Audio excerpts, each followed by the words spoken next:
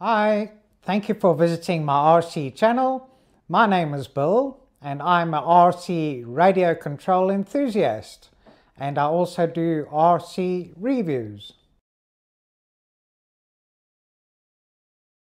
Thank you for joining me for this review of this MJX Bugs 4W B4W 5G Wi-Fi FPV brushless foldable RC quadcopter drone with a 2K camera on a single axis gimbal. Comes nicely packaged in this box. No carry handle. And if we have a look here, it's got GPS as I've mentioned. It's also got optical flow positioning, which is good. It's got ultrasonic which basically means it's got a sensor to assist the barometer for more stability for altitude hold. Comes with a 7.6 volt, 3400 mAh modular LiPo battery. That should be good for a flying time of around 20 minutes. Got an adjustable camera. Got 2204 1350 kV brushless motors and an OLED LCD screen.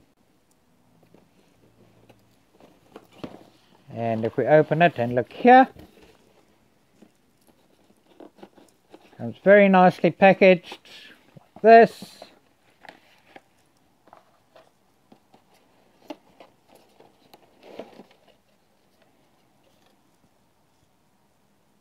And this is the Bugs 4W. Let me just unpack everything. This is everything unpacked and this is the Bugs 4W folded.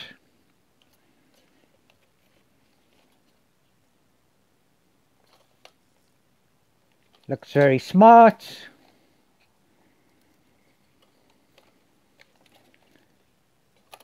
And if we have a look at the size compared to this SG906 Beast, it's a bit longer.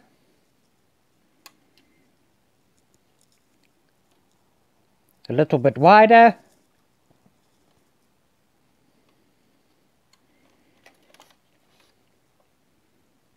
And the depth probably not as much, but not too much of a difference.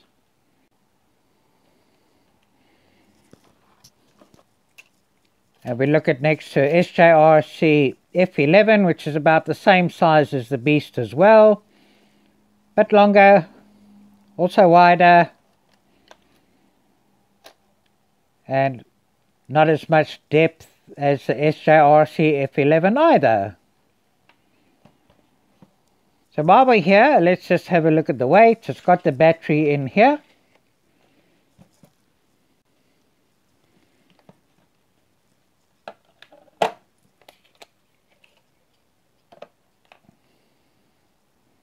And this comes in at 635 grams.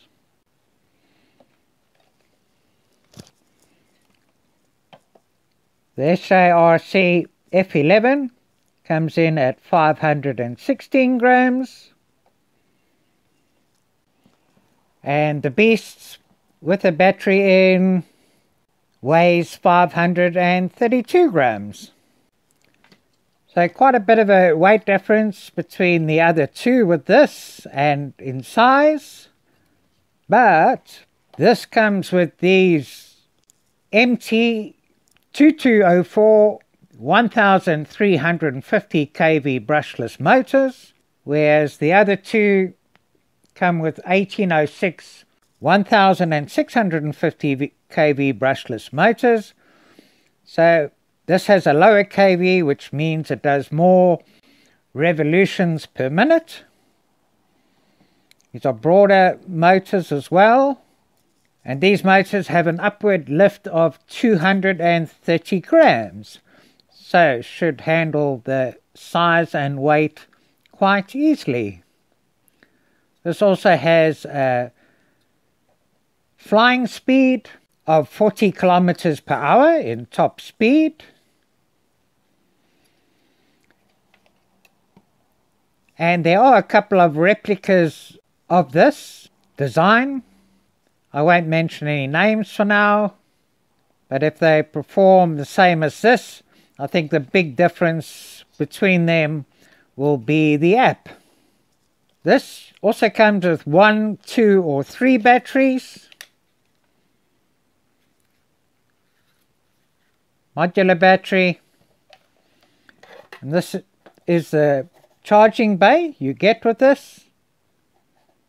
So it can charge two batteries at the same time.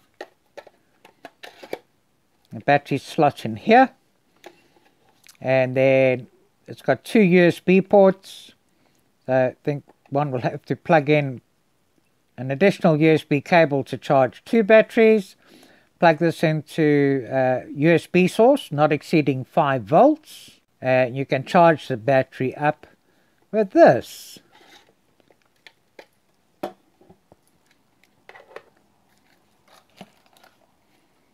And before you insert the battery properly, you need to remove this protective strip or mold like this. And then I could go here, push, and make sure it clips and secures in position. And if you get two or three batteries, you also get a bag with it. We get this little tag that just tells us to remove the protective lenses on the radio control transmitter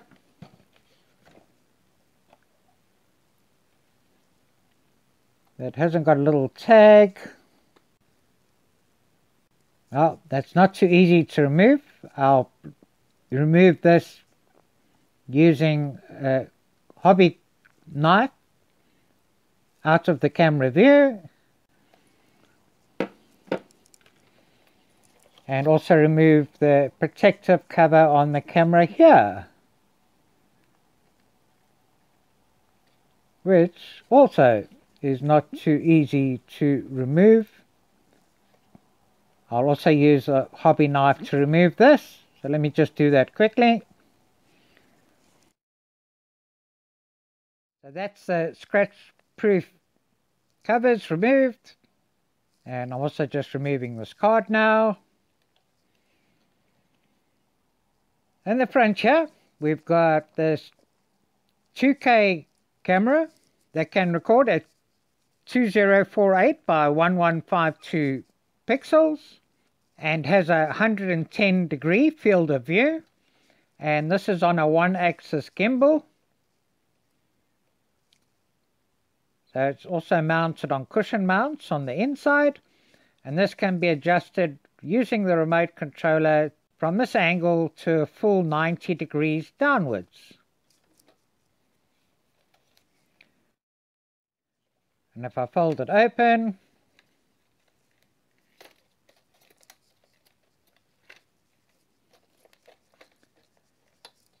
this is it with the arms unfolded and the arms don't lock into position but hold quite firmly which may be good if you have a bit of an accident that it's not too rigid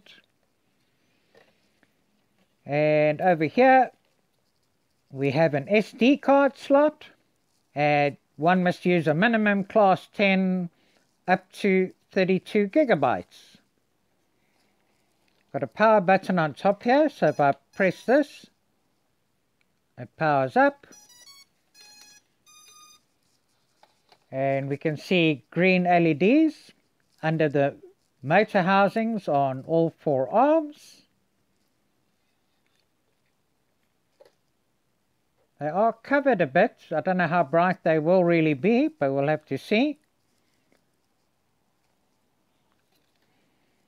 And then to power off, just press again, lights go red, release. And then this is it powered off.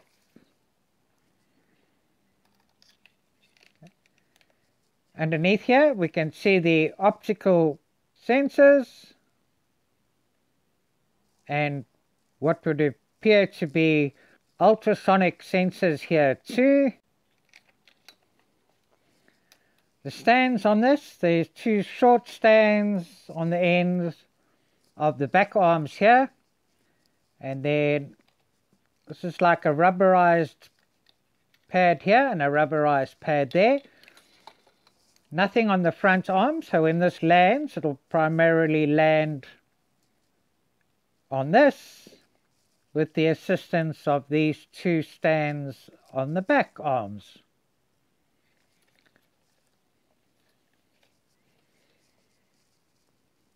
So very nice style, shape and design. I'm just going to fold the arms back in.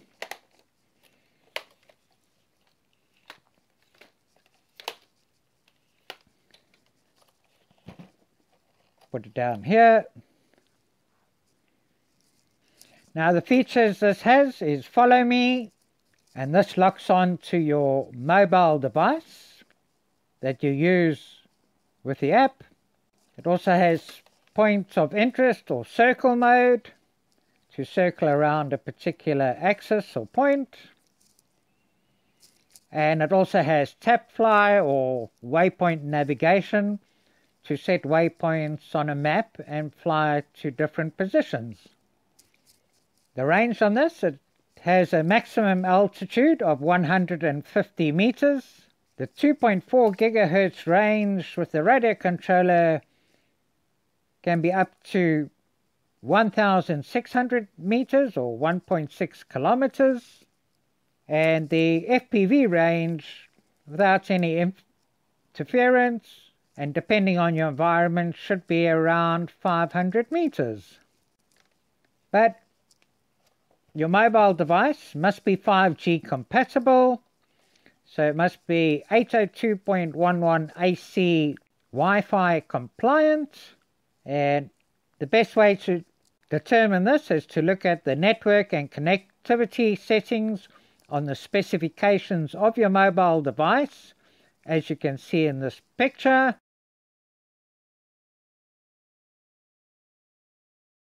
And if you see what's underlined in green, your device should be compatible. And if you can only see what's underlined in red, then your device will not be compatible. This is the radio controller. Comes with it. Two fake antennas. These pull down like this. You can hold here. Both of these are spring loaded. And this surprisingly only takes two AA batteries. I would have thought it should be more.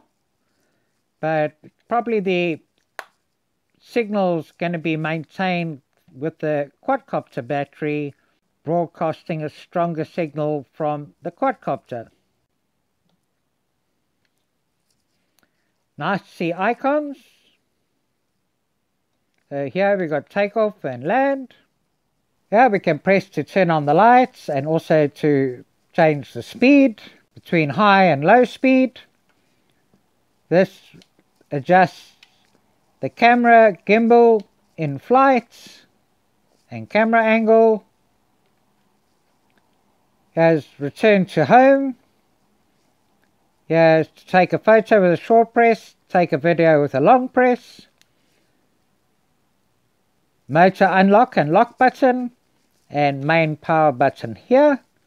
And then on the side here we can turn GPS on or off if you want to fly in manual mode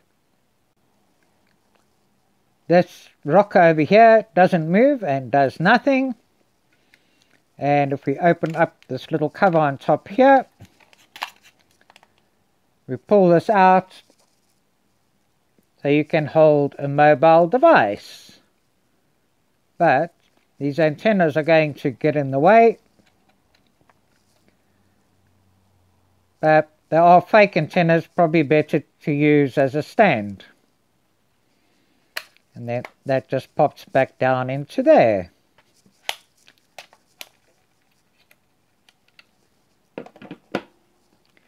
We also get four spare propellers, unusually packaged, but that's good.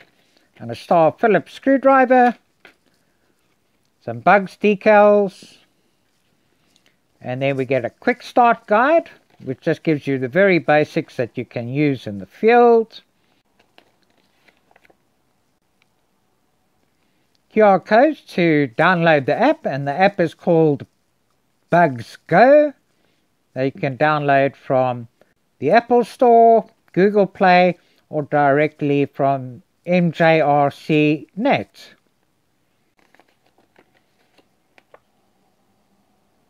It tells us how to do the compass calibration.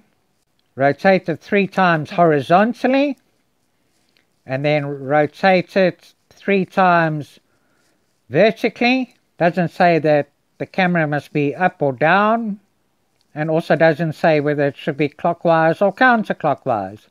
So we'll find out when we do the compass calibration in the field. Unlocking and nothing about calibrating the gyro. And we get the full manual, which comes on this nice paper in this booklet. That is detailed, easy to read, good grammar, good diagrams, and gives you more details and how it works.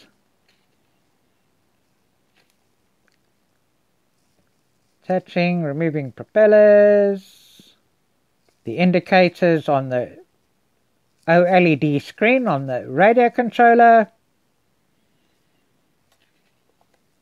Got an emergency stop if you press and hold the unlock lock button for 3 seconds. Now this has low battery warning and also should warn if it goes out of range on the radio controller. We'll need to see if it'll return to home automatically in the test flight. You can get a Mode 2 if you prefer a Mode 2 version.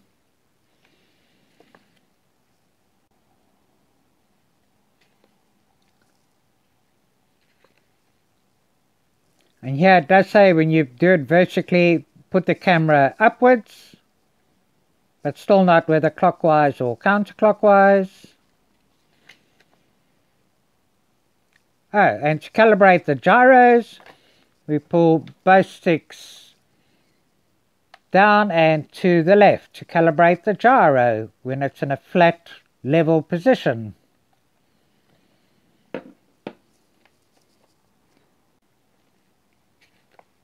A very good detailed manual with this too. And this is the Bugs Go app. You'll need to select B4W for this model. And we click on Go. We get these warnings and introduction. And this is the app interface. So with using the app, we've got RTH, return to home here. This is to initialize point of interest. This is to follow me. And this is the tap fly waypoint navigation with the map. We've got some good telemetry here giving us altitude, battery levels, signal strength. You can also have a split screen to use VR goggles if you want. You can turn this screen upside down 180 degrees. Yeah, it'll give us the GPS signal and the number of satellites.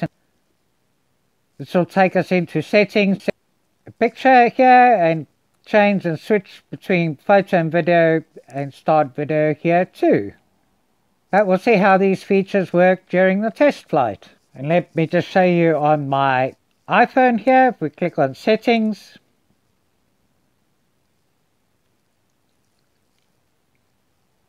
We go allow to access location while you're using the app. Click on settings here. We've got parameter settings. So here you can set the maximum flight altitude up to a maximum 150 meters. Maximum flight distance of up to 500 meters, but this is related to FPV. And maximum flight radius, this would be for the circle me function. If you want to go further than 500 meters, I think you just leave this off. Detection, it detects gyro status, barometer status, compass status, and GPS status. Got a flight data log. The camera settings 1080p, 2K, uh, 4K not applicable for this one. But the, I think the device needs to be connected before you can select your settings here in the settings.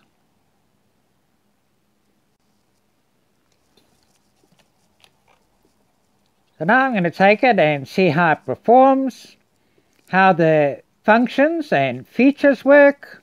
I think more importantly, how well and how stable this camera is going to perform and see if the app works well with this. I previously did a comparison with the Beast and the SJRC F11 but the SJRC F11 doesn't have a 2K camera and the Beast does. So at a later stage I'll do a proper comparison once I've done all the tests including a range test with this and do a comparison with this and the Beast in a later video too. And I'll put a link in the description if you want to, if you haven't seen the comparison between the SJRC F11 and the Beast.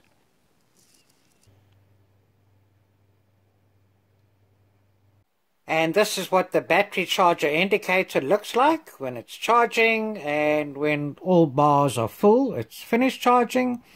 And charging can take up to four hours. I'm going to post the flight tests in a separate video or else this video will be too long. But here's a short teaser of some flight footage. But because this is integrated into this video at 1080p, it won't show you the resolution at 2K 2048 by 1152 pixels.